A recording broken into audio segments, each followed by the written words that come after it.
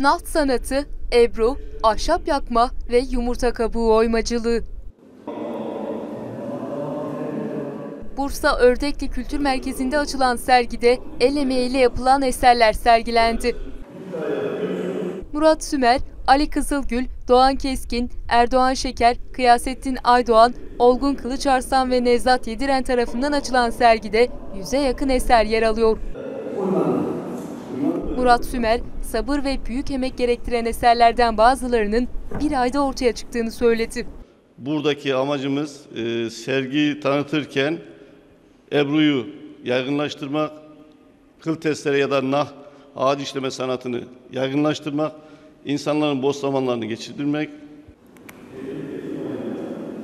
Sümer, yumurta işleminin geleneksel sanatlarımız arasında önemli bir yere sahip olduğunu dile getirdi.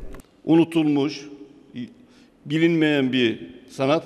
Bunun üzerinde e, çalışmalar uzun yıllar yapılmış ancak e, günümüzde e, modern e, çiftliklerin kurulmasıyla bu sanat unutulmuş durumda. Sergi Cuma gününe kadar ziyarete açık kalacak.